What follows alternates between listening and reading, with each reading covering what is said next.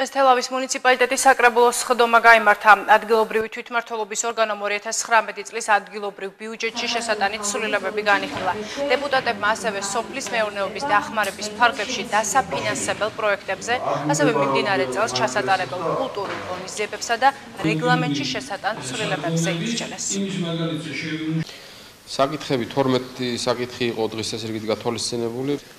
აქ ინიციატივა მოქალაქის მხრიდან ეხებოდა იმას, რომ თქვენ ჩვენი ძალებით მოვახდინოთ თელავისთვის ძახთა თავშესაფრის მოწყობა ამ ეტაპზე ჯერჯერობით თელავის მუნიციპალიტეტს არ შეუძლია საკუთარი მუნიციპალიტეტისთვის ძახთა თავშესაფრის მოწყობა. მე პრეტენზია გამოვთქვი და უკმაყოფილება იმ საკითხთან დაკავშირებით, რომ თელავში არსებობენ თელავის მუნიციპალიტეტში არსებობენ ადამიანები, წარმატებული ადამიანები, ბავშვები, რომლებიც იღებენ სხვადასხვა საერთაშორისო ფესტივალებზე მონაწილეობას, მომართვიანობა არის დიდი, რადგან ფიზიკურად ამ ბავშვებს არ აქვთ ტრანსპორტირების, გადაადგილების საშუალება ევროპის რიგ ქალაქებში და დახმარებას ითხოვენ მუნიციპალიტეტიდან.